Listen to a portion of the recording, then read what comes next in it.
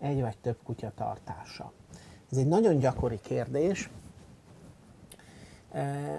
Én azt tudom mondani, hogy a legtöbb kutya elsősorban nem kutyatársaságra vágyik, hanem embertársaságra, a gazdája társaságára.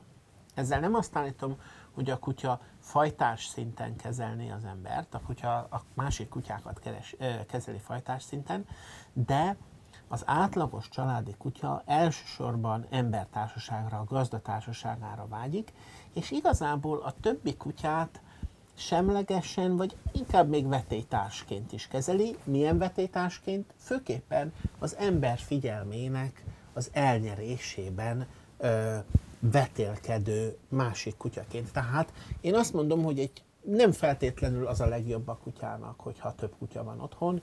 Igazából egy szerencsés döntés az szokott lenni, amikor már idősödik a kutyánk, akkor egy fiatal kutyát hozni, az felpesdíti otthon az életet. De különben nem hiányoznak egymásnak a kutyák szerintem.